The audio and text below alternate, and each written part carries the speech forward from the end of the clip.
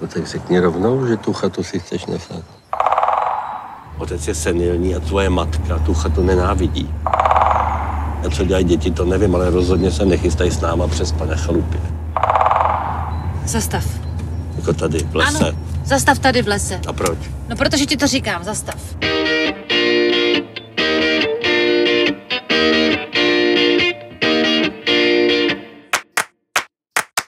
Ale neříkejte mi, počte, že jdeme na chatu, jo? Proč? Počkej, takže ona o tom taky neví?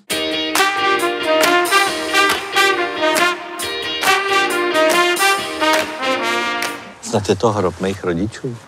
Tak já snad můžu rozhodovat o tom, jak na něm budou ležet věnce, ne? Mami, stoj! Nic neříkáte, jen se mračíte. To je problém celé vaší rodiny. No tak se zkus zasmát. To ne. To ti nevěřím vůbec. Smíchu je pořád málo, Nechat to! nemá cenu se přijít. Kdo teď zůstane s námi, tak to je náš známý a může ho být. Hele, my tu chatu prodáváme, tak se tam chceme naposledy vyspat. Ty budeš teda pěkně ožralý zvíře.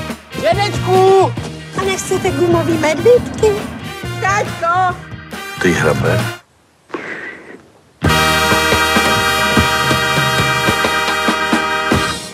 To je teda rodinka. Zajímavá.